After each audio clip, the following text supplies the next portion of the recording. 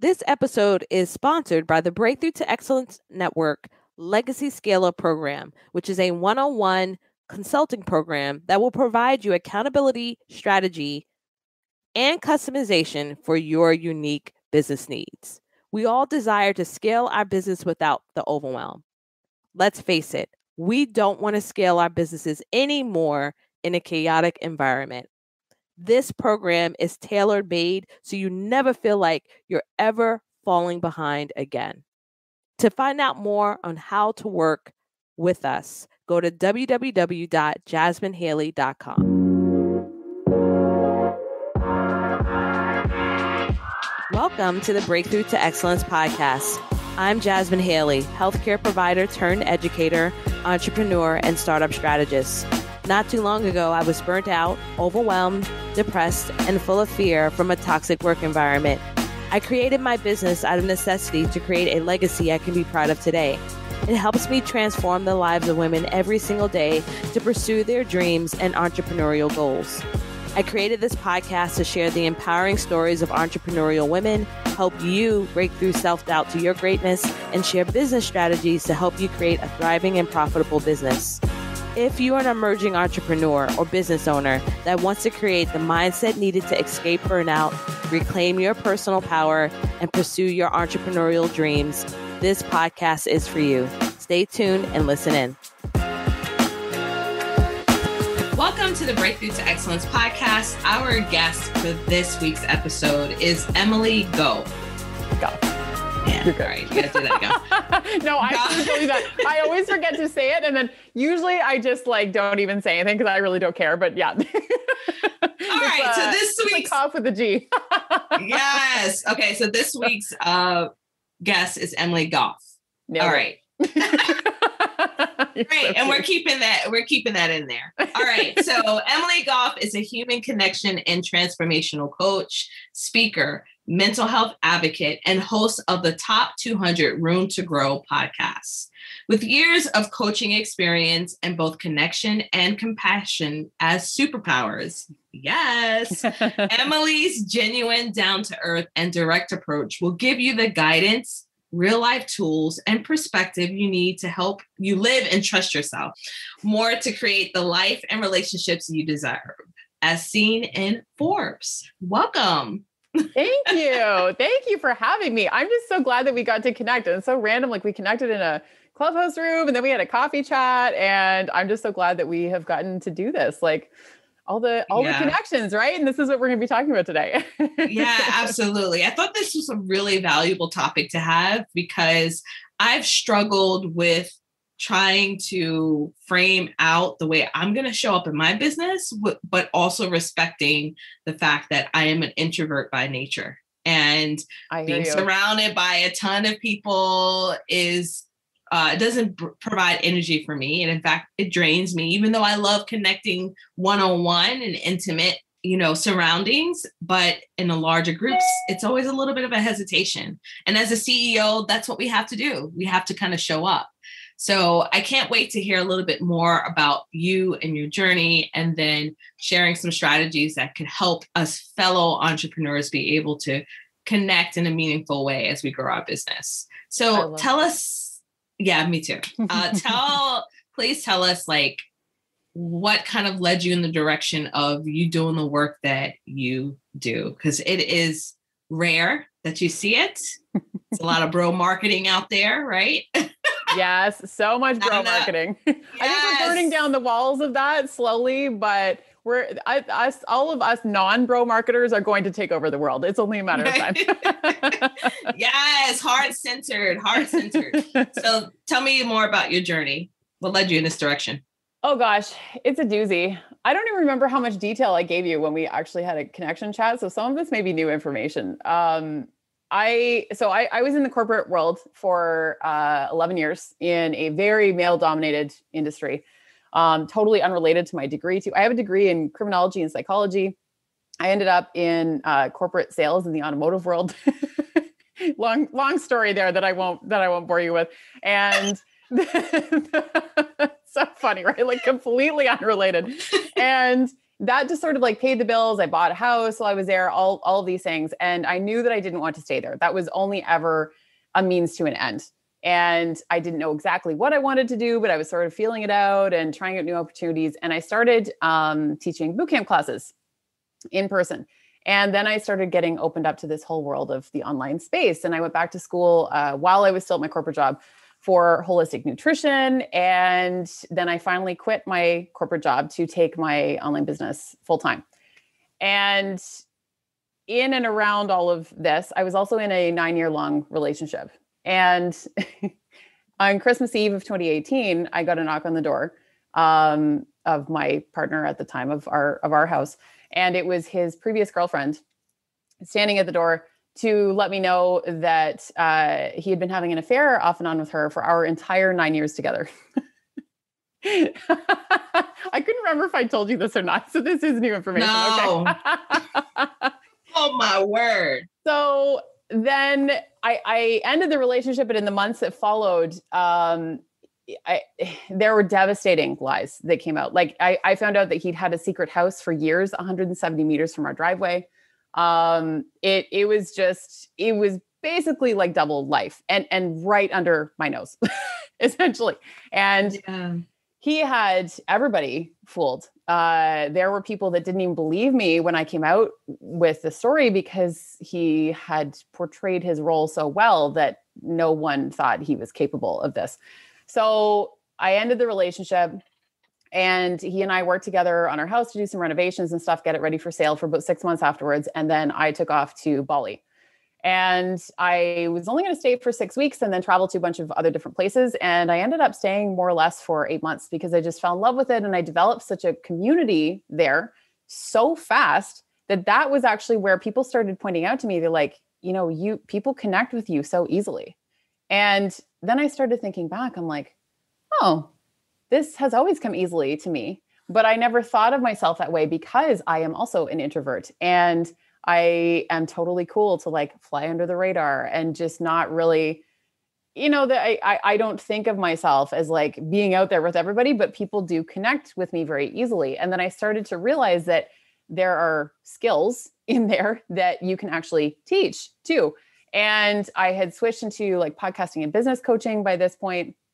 Um, and then I just during the pandemic, I I got grounded uh, in Canada, and I just started to feel like I'd lost my sense of purpose in my business because I I love podcasting, I I love talking business strategy, all of those things, but it wasn't filling me up, and I kept coming back to these conversations that I would have with people, and that people were still having with me, like talking about relationships and um, just how how to connect. And I realized that there was this huge need, and that that was what what not only lit me up the most, but had been threaded throughout every single thing that I had done all along. And I was like, this is the natural next step is to teach people how to have better connections and to to be able to connect with people in a more meaningful, deeper, more purposeful way, especially because we are all feeling more isolated and alone than we ever have before. So mm-hmm. that was how I ended up sort of switching into human connection. And I've just never felt more in alignment because of that. And it's just so interesting that when you look back at the journey and you can see all the pieces that were falling into place to make something happen, you're like, oh, okay, it, it, it makes a little bit more sense now. yeah. I was on my walk today, even thinking about my own journey and just how what led me into creating the program that I have is my signature program and how little pieces of uh, the development of this signature program were kind of like laid out throughout my journey. Now I can see it, but I didn't realize how that was shaping what was the meaningful work that I would be doing today. So I love that you shared that. Um, and you kind of honored the process of and, and of getting there, but also having en- enough boldness and bravery and we're going to put in their courage all of them okay? You know to make that shift because it's easier to go with strategy right? Mm-hmm. um that's why there's so many biz strategists. Um, i'm one of them. Not that i'm I, I i've chosen it for an easy thing but that is one of my gifts. So you know what your gift is, is human connection. So I want to know from you, why do we struggle so much with that? And why aren't we seeing it as a necessary part of business growth? Such a beautiful question. I think that there's so many of us who the online space has become very noisy. And I think there's so many of us who have gotten caught up in, and I've been guilty of this too, we all have, in seeing all of these just being bombarded with all of these posts and stuff all the time and and different strategies and stuff but a lot of them are uh, like bro bro marketing type things like you and i were, were talking about before. And it's like these quick fixes and everything else. And we want we want that. We're like well what's the fastest way to six figures? Uh, how do i get to seven figures? How do i scale? How do i do this? And what's interesting about the online space too is that there's sort of been these these trends over time where when the online space first started um, I, I feel like there had to be more trust built because it was all very new. And I wasn't in the space at that point, but I think that that was when you started to see a bit more one on one coaching. Then that sort of shifted into DIY because so many of us wanted to scale too. So DIY became the thing. And that removed a lot of the human connection, a lot of the human element. And what I'm I'm seeing, and, and Jasmin, tell me if, if you're kind of noticing the same thing as well. I'm sort of seeing this shift back to people want more access to the the human that they're learning from because we are starved right now. We are absolutely starved for that connection piece and we want to learn from real humans. We're tired of just looking at our screens. Not to mention i think a lot of us are waking up to the fact that the the online space just like anything else in life is not a one size fits all approach and that was partly why it has taken me so long to get to where I am because and you know we all are on our journey. We're all exactly where we need to be at, at the exact right times. But i kept getting sucked into you should be doing this. You should be doing it this way. You should be doing um you know this this like webinar style thing that then scales to this funnel and whatever. And what i finally came to the conclusion of much more recently is i'm like i just want to do one-on-one not exclusively, but I I I just really want to do one-on-one right now because I get to connect with people so deeply and I I have people open up about some really heavy topics that they aren't necessarily going to be comfortable opening up in a group setting either. And it's not really work that they can necessarily do quite as effectively on their own. So at least not not going as as deep as they want to. So the one on one is the best fit for me right now. But it's it looks different for everybody. But the only way we can start to build a relationship with with people is by putting in the effort, even if they're going to buy DIY, because DIY might be the perfect fit for you and your people.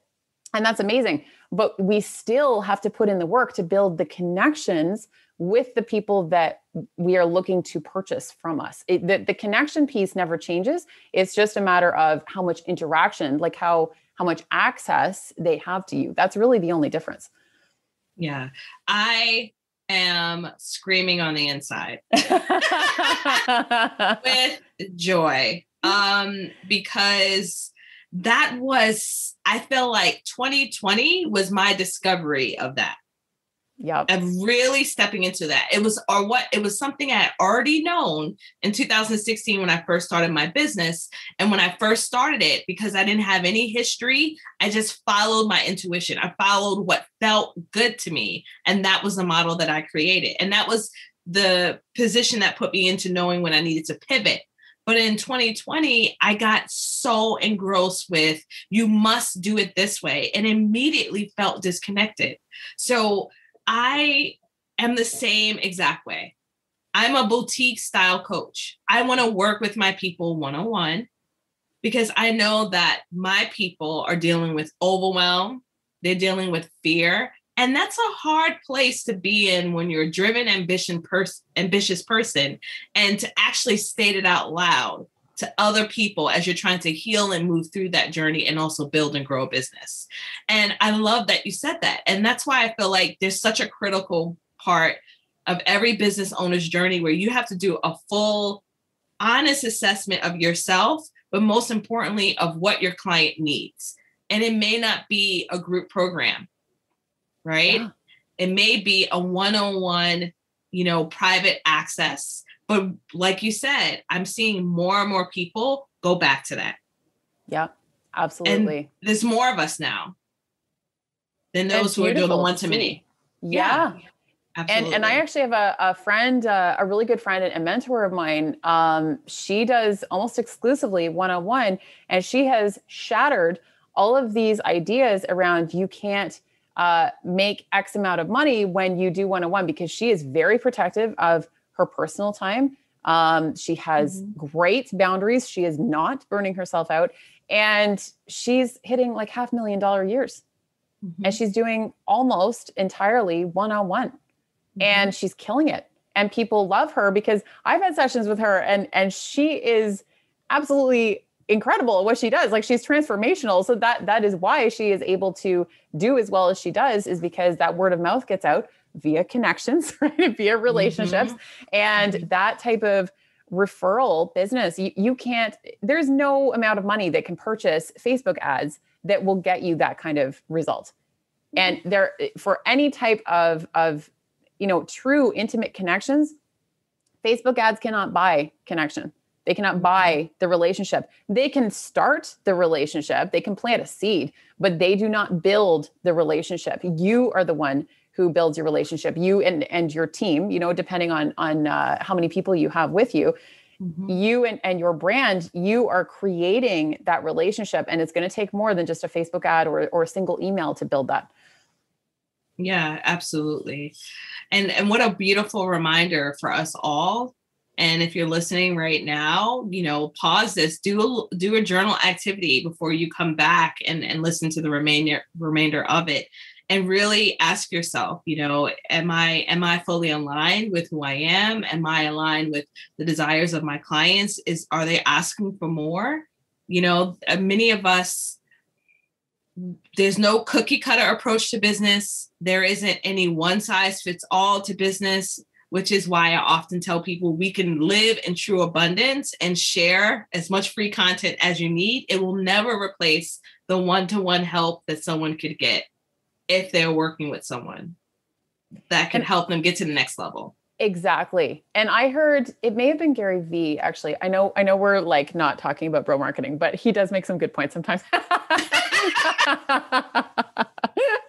he he made a really good point about um, sharing uh, you know to, to stop putting limits on what you share in terms of free content and like worrying about keeping things behind the paywall because he's like what people are paying for is access he's like they're paying for access. He's like don't don't save all of your best shit for behind the paywall. You want people to get to know how awesome you are and how good you are at what you do and then they will have no problem paying for access to you because mm-hmm. that's what they really want. That's what they ultimately want. That that free content just builds is is part of what builds the relationship and then you get to take that to the next level when they start working with you. And one-on-one yes. is not right for everybody but it is it, it is a really great way to have have more interactions with people and really form a significant bond that even if you don't end up working with a ton of people one-on-one those people are going to go out and tell all their people that they built something really cool with you like that they built a really strong relationship with you and that is only going to to serve you in the best possible ways.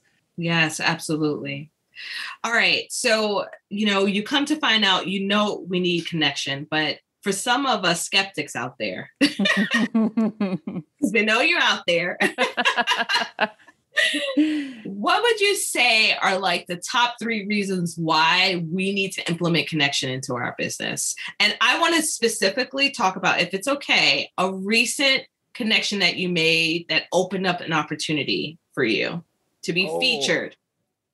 Oh, yes. Okay. Okay. Okay. Yes. And that okay. was just because you took your same principles that you're teaching and implement it in your life in a genuine way. So take it away. Oh, I love that. Okay, so I'll, I'll tell the story. So I, I got featured in Forbes, it, eh, Jasmin, as as you mentioned uh, in the intro, and it was something I've been writing down my journal for like three years, but I'd never I'd never pitched them. I had, I I figured you know when the time was right, the time would be right, and uh, somebody reached out in my DMs to just let me know that they uh, had listened to one of my podcast episodes, they really liked it, and she just seemed really genuine, and and you know we all get like the the shady DMs, right? The the slimy ones where it's like, oh, come join such and such Facebook group when you've never spoken to them before. It's like really, and, and she just seemed really like warm and genuine, and I could just tell she just she just kind of wanted to chat, and I offered to jump on the phone with her. I was like, oh, you know, let's just jump on let's jump on a Zoom call. So we booked an appointment. We jumped on and I I did not do any research into her. I I don't think I even clicked on her profile to be honest. I literally did not know who she was. And the only thing I knew was that like I'm I'm in Canada right now and I knew uh, she mentioned that she was also in Canada. So I knew she was Canadian. That was all I knew. and mm-hmm. I jumped on the the Zoom with her and we had a great chat and uh, she was asking about being on my podcast and she was asking I just, you know, pivoted into human connection away from business and she specializes in like business and finance. So I did let her know that it wasn't going to be a great fit, but I said if there's anything else I can do to support you, let me know. Um, which I think is a really key question that is really important to ask. And Jasmin, you and I asked each other that when we first connected too, mm-hmm. like, how can I support you? And mm-hmm. She said, well, you know, I, I, would love to to get hooked up with uh, some other podcast interviews. So I said, great. So I connected her with three or four um, former clients and and uh, friends and connections and stuff. And then she said, Well, how can I support you? And I said, To be honest, I, I'm just, I'm going through this transition in my business right now. I said, a little bit overwhelmed. Uh, I love that you're asking, but I don't actually have an answer right now because I don't really know exactly what to ask for. And she's like, Well, I could feature you in Forbes. Would that help? I she was joking. I'm like, Pardon? Yes. like, yeah, I'm a I'm a writer for Forbes and, and I would love to do a feature on you. And I almost dropped the the, the laptop. I'm like, uh, oh, well, that that would be helpful. yes, mm-hmm. I will mm-hmm. take you up on that. And that was just born purely from a very basic human interaction. But so many of us, I think sometimes, it, and I've I have done this myself, been a little bit cynical about things in the DMs, or like people asking for things from us and just feeling like it's like a take, take, take, and not enough giving in return. That it's not an even flow. And if you're someone who doesn't have boundaries, that can absolutely be an issue. If you are already feeling incredibly drained, then maybe you need more boundaries around that. Mm-hmm. But also just pay attention to the people who are just showing up in a genuine way because mm-hmm. you can feel the difference. Like mm-hmm. you you can start to really feel the difference and if you if you feel like you're getting cynical because of your DMs or or your your the spam popping up in your email all the time or whatever, um, of people demanding things of you, then try to just sort of pull back on that a little bit and take a little bit more of a macro approach. Because the other thing that I have started to really think about more is that every time I say yes, not not every single time, but I find by far the majority of the time I say yes to these types of interactions that feel okay to me. I'm like, okay, you know, like I'll, I'll, but even if nothing comes of it, like I don't go in with the expectation, which I think is a huge. That's difference. the key. That's yes, the key. You can't go in with the expectation, but if mm-hmm. you are open to what could come of it, because even if nothing comes of that connection right then or whatever, you don't know who could end up connected to that person that then ends up getting referred to you. Like I just, um, I'm signing a, a huge client that he he's somebody from like a, a tiny little area in the states um, runs like a, a, major company and stuff and he heard about me by someone he doesn't even remember who someone told him about me that apparently we went to an event together pre pre pandemic uh, apparently yes. we went to an event together and he doesn't even remember who i have no idea who it would be and apparently it's somebody i spoke to in passing at an event there have been other times where like i've been connected with somebody by a mutual friend and I it was when I was still working my corporate job, but I'd just gotten into the online space and we'd already had the call set up. And I was like, I was just so tired. I'm like, oh, I don't want to get on this call. I'm exhausted. Like, but mm-hmm. it's it's fine. I don't want to break a commitment. I get in the call. The woman changed my life. like practically changed my life. By the end of the call, she had convinced me that I needed to quit my corporate job. And I'd already kind of been moving towards it anyway, but she yeah. she really like gave me the final push. She and she keeps popping up in my life ever since at like the most pivotal rock bottom moments, I swear she has radar. She then pops up my DMs. She's like, How are you really? And I'm like, I'm not good. She's like, mm. Let's hop on the phone. We've never even met in person. mm-hmm, mm-hmm, and I think more and mm-hmm. more of us are having these interactions, especially in a pandemic world, where you can yeah. build powerful relationships that don't have to involve the in-person element either. Yeah. And we have all learned that in, in new ways and it can be difficult sometimes not get cynical about that too because like we just want to hug humans okay? Mm-hmm. but it is helpful to be able to build these things up now and then we can hug yep. hopefully soon.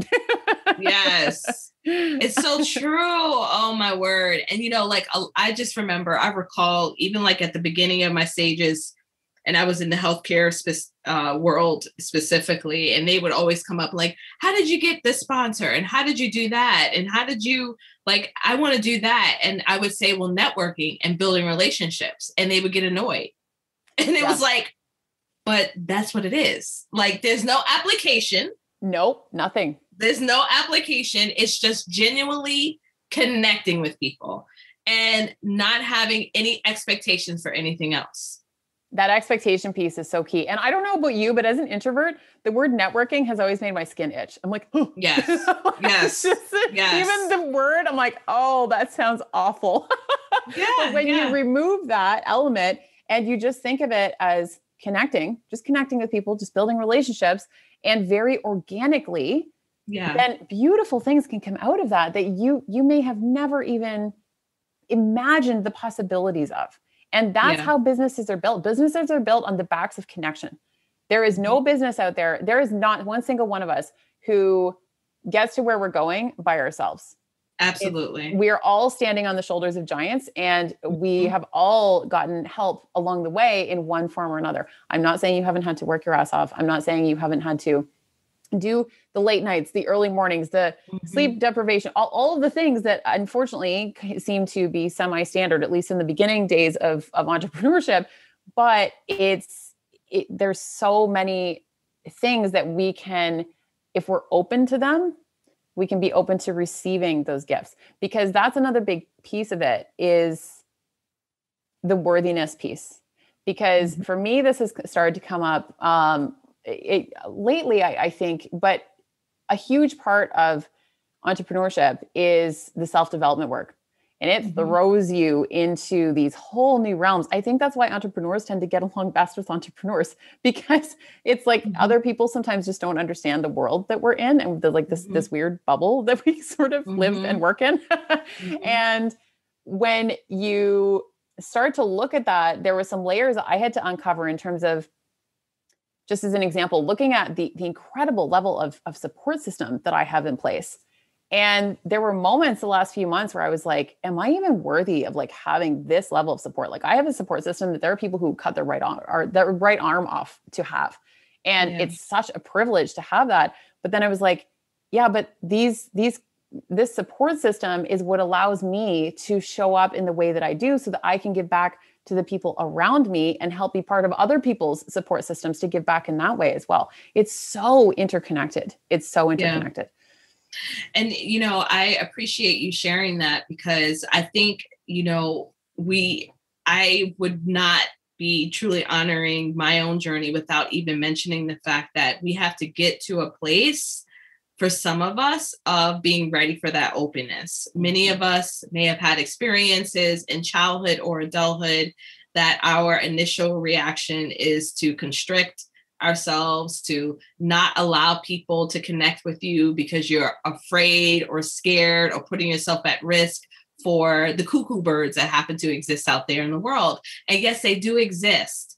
They will always be a part of our lives or you know the universe or, or, or society as some whole. But what is necessary for us to understand is that again that full reminder of you you cannot do this journey alone. It's not possible. And when you open yourself up to true genuine connection and you do the healing work necessary you'll notice that that the the right type of people like emily will pop up into your life in such amazing ways. And it'll be so many of them. It'll be numerous amounts that those one or two bad apples will mean nothing. They'll be irrelevant. And so, for those of us who have may have dealt with trauma or grief of some sort uh, and are afraid of putting themselves out there, um, be aware of the fact of how much beauty and love and awesomeness and more abundance in your life that you bring by remaining open to that. And that's why this conversation was such an important one to have. Yeah. Yeah. I, I, I, I totally agree. And it's, you know, I, I, seem to end up working more with uh, entrepreneurs than anybody else. And I don't actually target entrepreneurs, but I just mm-hmm. seem to attract them because I think it's um, a lot of times our personal relationships can suffer mm-hmm. because of our business. Mm-hmm. Again, it's like, you know, we're in this this online space and it's easy to just sort of let the the personal stuff slide.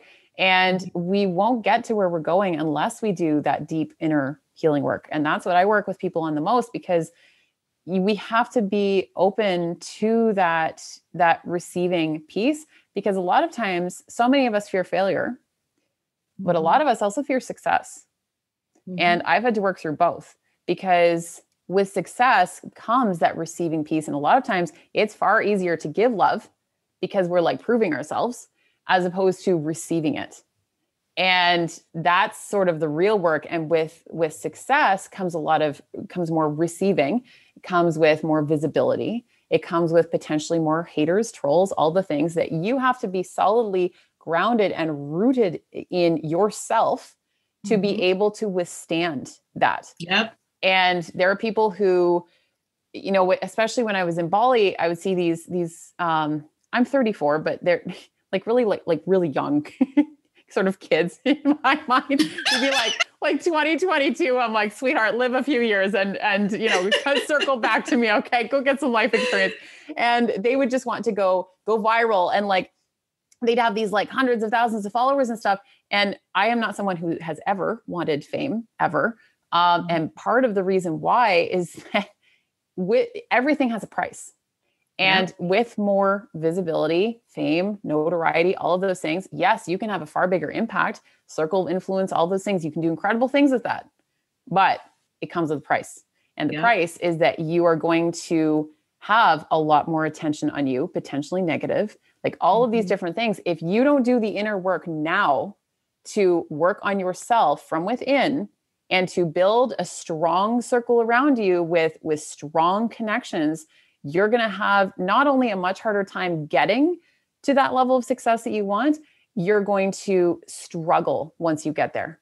You will mm-hmm. crumble because Absolutely. you you will burn out you will be eh, you know eh, eh, you will get comments that will devastate you and i'm not saying that they can't still be devastating even after you after you do do all the work but it can be so much harder so that's why it's so important to do this work to build the relationship and the connection that you have with yourself first and foremost and to then go outward from there. Like you have to start with you, then you move on to your personal relationships, then you move on to the business relationships. Like it's sort of that circle of influence that yes that's what is going to serve you the best is start start with you you're in the center of the circle you need to start with you first and that's often the hardest one then you go outward and you just keep building from there yep and and the inner work never ends. Never. So for the ta- for the task checkers out there, you know who y'all are.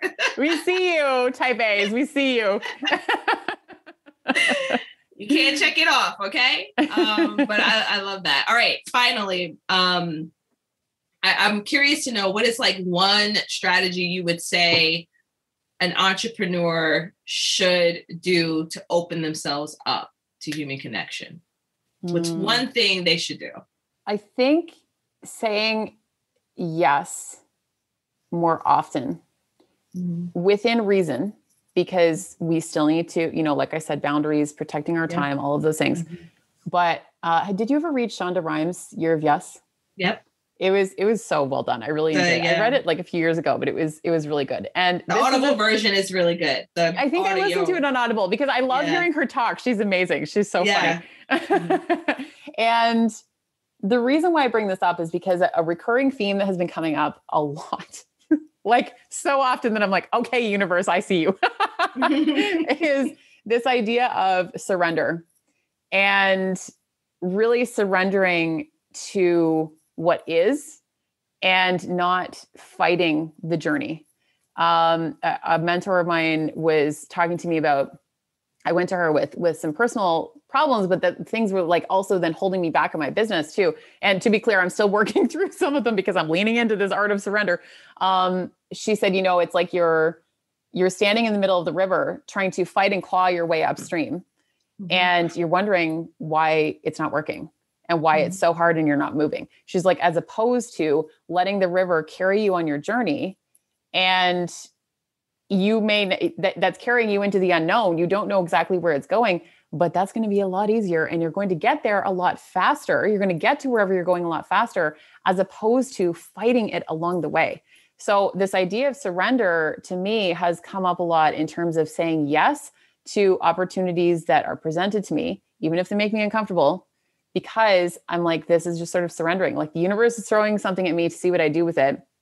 Yes, you still need to have boundaries. All of those, I will always be, I will always bring that part up. But I think that it is important to see that just because something makes you uncomfortable when it's presented to you, it might be making you uncomfortable for a really good reason. You just don't know it yet. And you may not mm-hmm. feel ready or prepared, but if you surrender and, and say yes to these opportunities that are maybe falling into your lap that may not even look like bright, shiny opportunities, it's just like mm-hmm. these little things, and you're like, hey, no, I'm just going to push this aside. You might want to rethink that. And I've mm-hmm. started doing that in big ways that make me very uncomfortable. And I will I will report back to see uh, you know in like six months or so to see what comes of some of these things. yes. so far, yeah, it I it's it's making life a lot easier because I'm not I'm not fighting it every step of the way. And I think that's really, really important. Like that conversation, my DM turned into a Forbes feature. And yeah. if I had not said yes to that, that wouldn't have turned into what it did. Yeah, yeah, absolutely. All right, going back to um new entrepreneur Emily. Little baby, yes. Little so baby innocent. Emily. what is one word of advice you would tell her as she is building out her business? Oh, Lord. it's been a wild ride. I don't even know where to start. Um, I would say probably patience, which has never been my strong point um, still isn't. so this is part of the the surrender and the saying yes, but to have patience because I think that again in the online space we just get bombarded a lot with these messages of like uh, 10k followers in 30 days and like everything is about the speed, but yes. good things don't come quickly. The best mm-hmm. things in life mm. usually take longer to build because otherwise if they come very quickly they can be taken away more quickly. But if you mm. if you take the mm. time to build the foundation, you're going to be building something more sustainable even though it takes longer and it can be very frustrating sometimes you're like why am I not where I'm going? wow, and so good. Yeah, having that that patience I could not have built a business at like 19 20 i i could not have I, because mm-hmm. i i always said to my younger self like when i was 18 or 19 i'm like I hope patience comes with age because I don't have a lot of it. And I don't know that it's come with age so much as many, many trials that have yeah. forced me to have a little bit more patience. I yeah. still not my strong point, but yes, patience I think would be the the biggest thing. oh, that was so powerful. So powerful. I love that you shared that. Um where can people contact you? Because I feel that you are so awesome I really, really do. Um, I think I you're pretty energy. awesome. Thank you. I love your energy. I love what you represent. So let the listeners know where they can reach out and contact you. Oh my gosh, for sure, for sure. So I probably um, hang out on Instagram the most over at Emily Gough Coach. Um, Gough is G O U G H. So cough with a G. It's literally cough with a G. See, that's just I just trademark that. That's just be like my slogan. Um, I'm also over at the Room to Grow podcast. Uh, so that's easy to spell. Um, so we come up with new episodes every Tuesday and Thursday. And uh, yeah, I'm over at like emilygoughcoaching.com. But those are the easiest places to find me. And uh, the best the best way to work with me right now is is one-on-one for anybody who's interested. Pop in the dms we can have a chat or just say hi. I'm fine with that too because i like the connection so.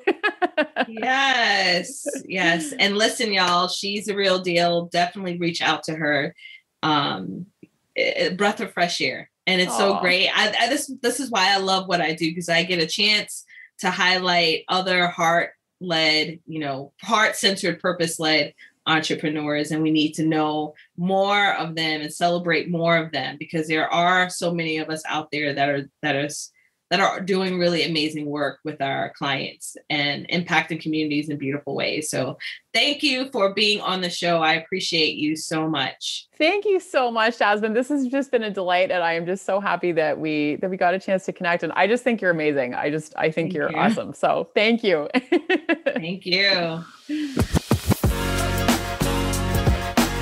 Thanks for tuning in to the show. Dive in deeper by visiting the show notes for this episode or listening to more episodes on jasminhaley.com. If you found value in the show, share with a friend or leave us a review. I'll see you next time.